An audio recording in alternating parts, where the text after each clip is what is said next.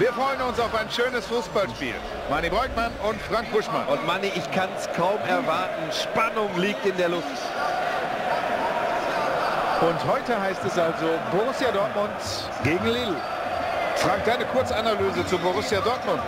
Heute endet die Vorbereitung und natürlich hoffen die Fans auch auf einen dritten Sieg im dritten Spiel. Und wenn sie heute gewinnen, dann gehen sie mit ganz breiter Brust in die kommende Spielzeit. Tolles Stadion, dieser Signal Iduna Park. Der Volksmund sagt allerdings immer noch Westfalenstadion. Die Akustik ist einfach der absolute Wahnsinn. Und wenn man mal ein bisschen äh, Sightseeing machen möchte, empfehle ich das Borusseum.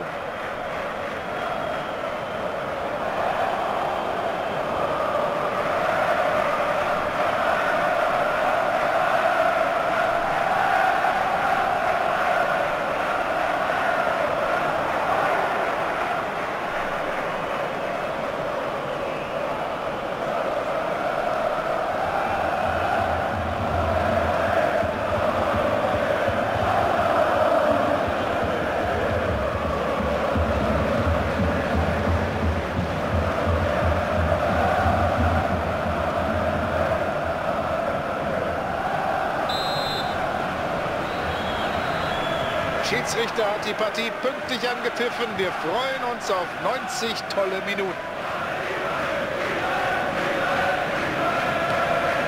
Das nennt der Abiturient antizipieren. Er liest die Situation und schnappt sich das Spielgerät. Achtung, Nest! Er hat ihn abge... Oh!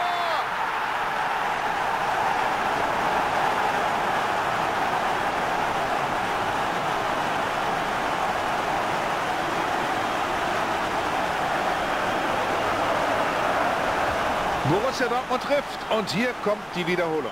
Im zweiten Anlauf und das ist besonders ärgerlich, muss der Keeper sich geschlagen geben. Nochmal das Tor aus anderer Kameraperspektive.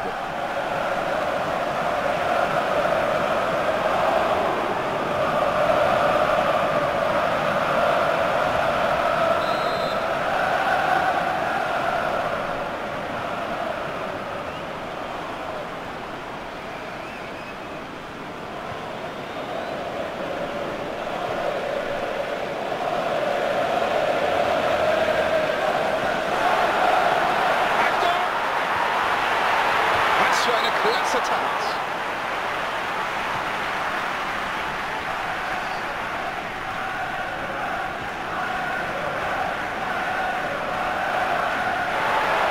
Ja, da muss man anders an die Sache. Und der muss jetzt rein. Tolle Flanke. Souverän, wie er das Problem gelöst hat. Bitte attackiert.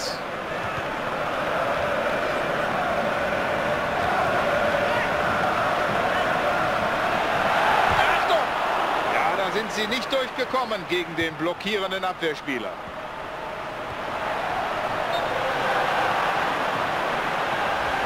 Der Assistent zeigt an, abseits.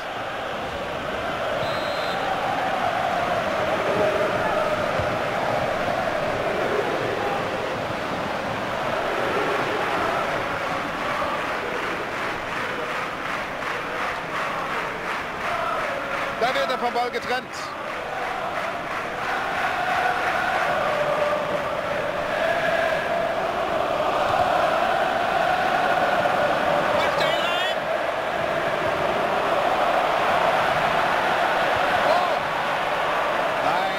viel besser, viel besser als in dieser Situation. Und der Angriff wurde gestoppt. Kehl. Ja, da muss man viel resoluter dazwischen gehen. So frei darf man natürlich nie... Bitte rein! Überhaupt kein Problem für den Keeper.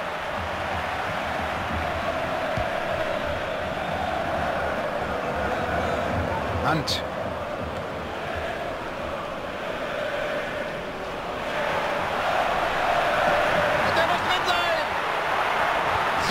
Flanke. Ja, und damit nimmt er beim Gegner den Offensivschwung raus. Der Ball ist frei. So, jetzt ist die Abwehr zur Stelle. Und das sieht nach einer guten Torchance aus.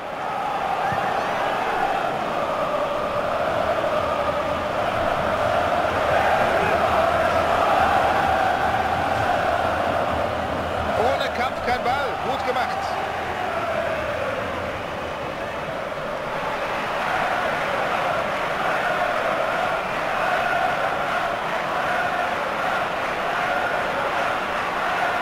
Attacke.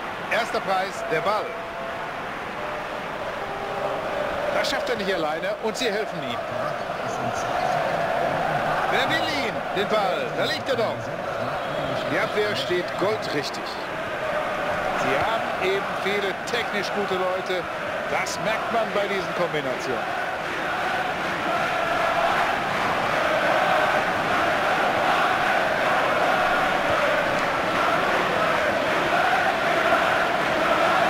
Und Achtung, genau hingeschaut. Grandiose Attacke und das wird belohnt mit Ballbesitz. Salomon Kalou. Jetzt hat er die Chance, um zu flanken.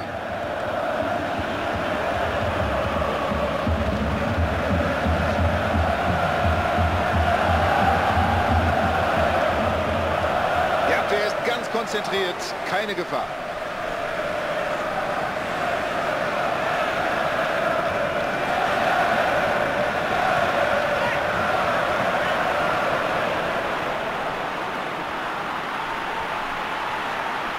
Und das ist jetzt die Möglichkeit. Das wird ganz gefährlich. Achtung!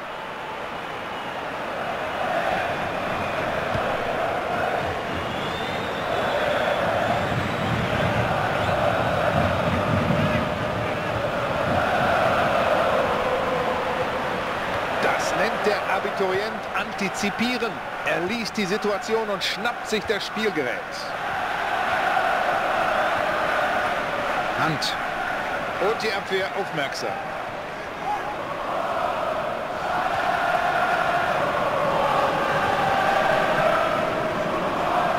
Balleroberung im Mittelfeld.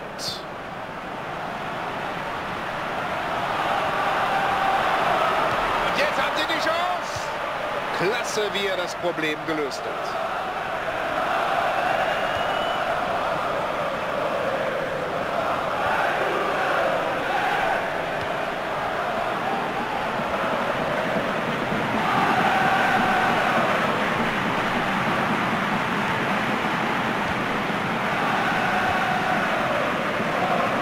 Hand. Sauber geklärt.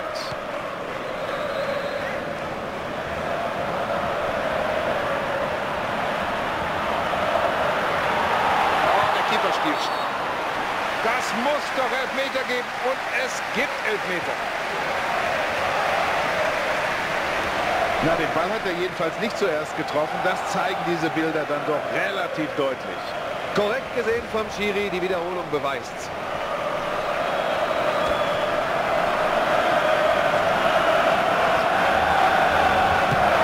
Kommt wie eine Hundeschnauze. Super. Gute Nerven.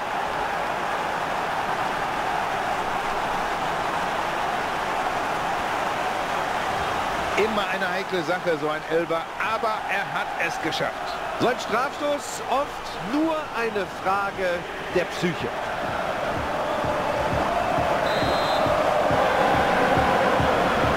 Salomon Kalou. Hand. Wie viele Torschüsse hat es heute eigentlich gegeben? Gucken Sie sich die Statistik an.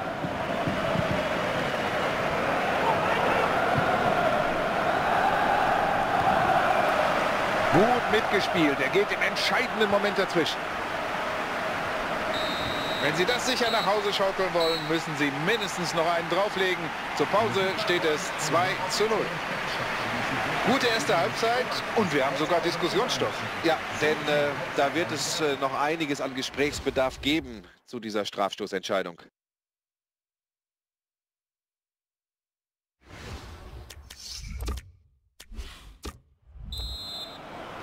Der Schiedsrichter sagt, es ist alles in Ordnung. Und dann geht's in den zweiten Durchgang.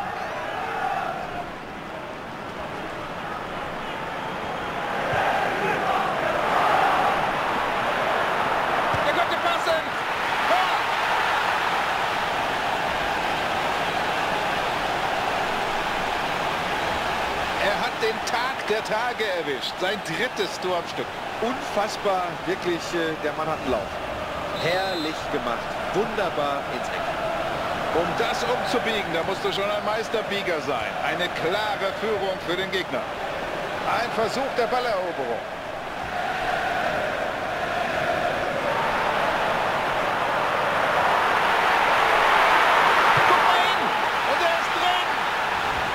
Also ich habe nach diesem Tor so allmählich den Eindruck, die Mannschaft fällt auseinander. Ja, genau so wirkt es und äh, das kann noch richtig bitter werden. Ach, das, das gibt's ja gar nicht. Ich dachte, der geht an die Latte. Ich glaube nicht, dass das noch kippen kann bei dieser komfortablen Führung. Nicht so lange den Ball halten, Jungs, dann findet ihr nie die Lücke.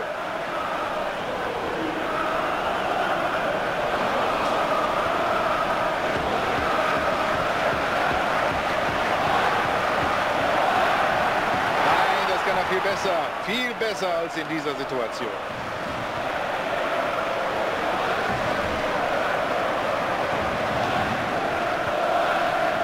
Kirch.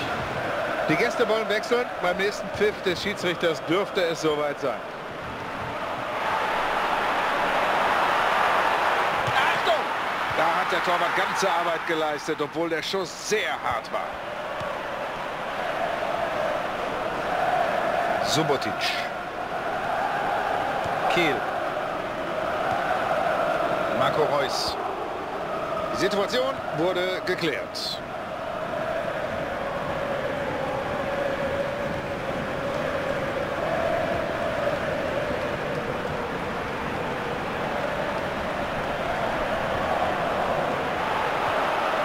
Da geht er resolut dazwischen.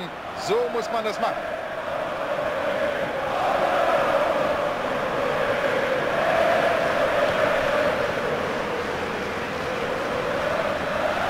Die Karten werden noch mal neu gemischt. Es gibt jede Menge Auswechslung.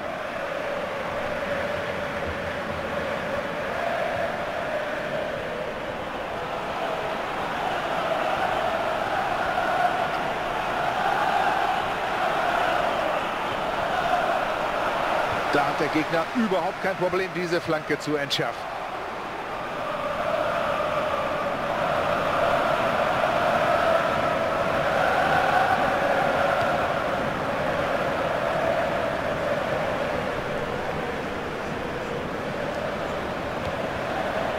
Gute Übersicht. Im richtigen Moment ist er am richtigen Ort.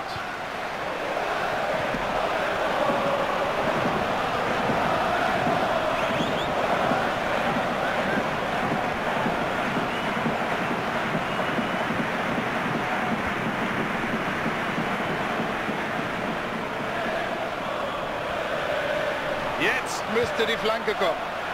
Und kann er diese Hereingabe verwerten?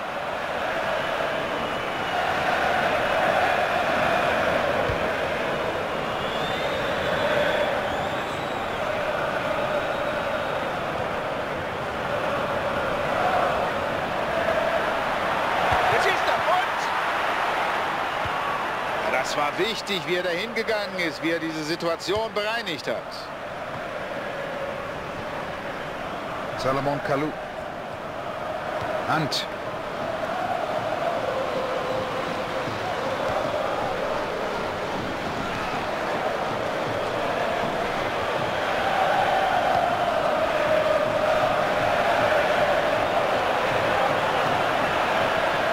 Er hüpft wie ein Känguru damit der Grätsche entgangen. Versucht's mit dem Kopf. Das ist ein Tor!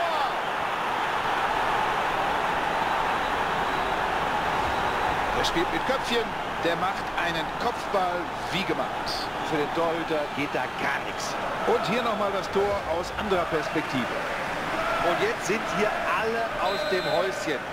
Völlig zu Recht ein super Kopfballtor. Der Trainer bringt nochmal einen frischen Spieler. Er kann eigentlich zufrieden sein mit dem, was seine Mannschaft geleistet hat. Aber er wechselt nochmal aus.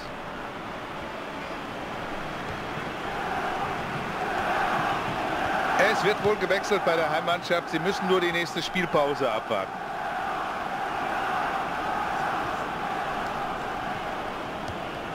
Subotic.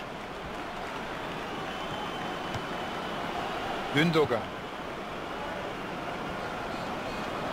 Und die Situation ist bereinigt.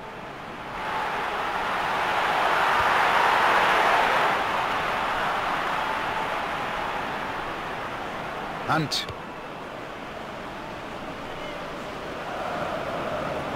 Beide Rangelei um den Ball.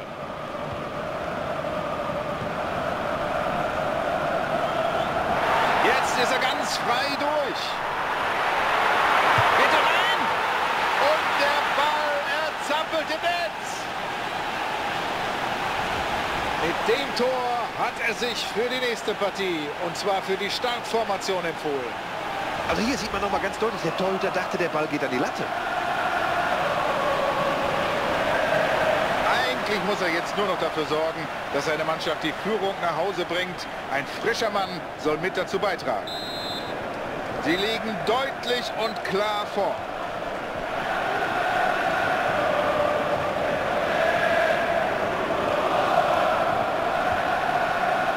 Wenn das Spiel das nächste Mal unterbrochen wird, steht wohl ein Wechsel bei den Gästen an. Der könnte passen. Gebt ihnen noch ein Tor, dann könnt ihr euch viel Nerven sparen.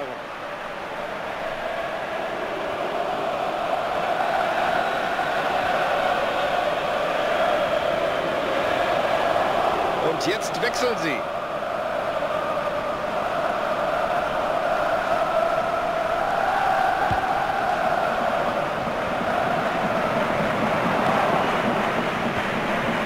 Das Abiturient antizipieren. Er liest die Situation und schnappt sich das Spielgerät.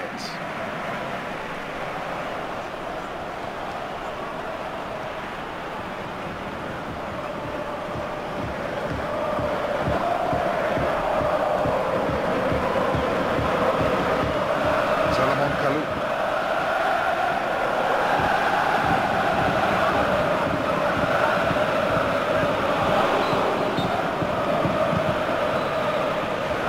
Abseits. Er ist einfach früh gestartet.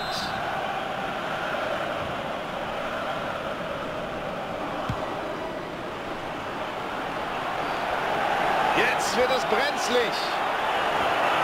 Ja, da hat er den Gegner auf dem falschen Fuß erwischt. Und Freude in Schwarz und in Gelb, denn der BVB hat das Spiel gewonnen. Da muss der Verlierer eine lange Fehleranalyse machen. Das Ergebnis spricht Bände, aber man muss noch ein paar Takte dazu sagen, glaube ich. Ja, definitiv. Und auf der anderen Seite natürlich äh, ein völlig verdienter Erfolg. So, liebe Zuschauer, das war's für heute. Marty Beugmann sagt auf Wiedersehen. Tschüss, bis die Tage.